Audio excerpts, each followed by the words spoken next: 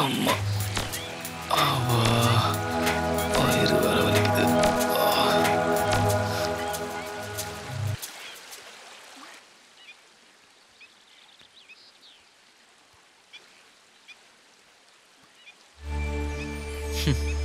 இங்கே பாருடா.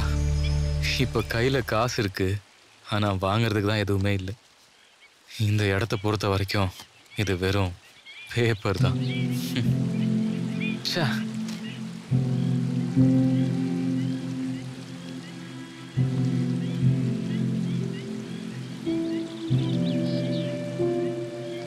நீட் எக்ஸாமுக்கு பயந்து தற்கொலை செய்து கொண்ட மாணவன்.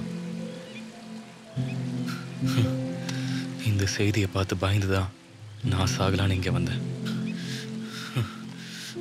வேணாம் தப்பான முடிவு எடுத்துட்டேன். முதல்ல ஜெயிக்கணும். அப்புறம் எல்லாரும் முன்னாடி போய் நிற்கணும் என்னோட அனுபவம் எல்லாருக்கும் ஒரு பாடமாக இருக்கணும்.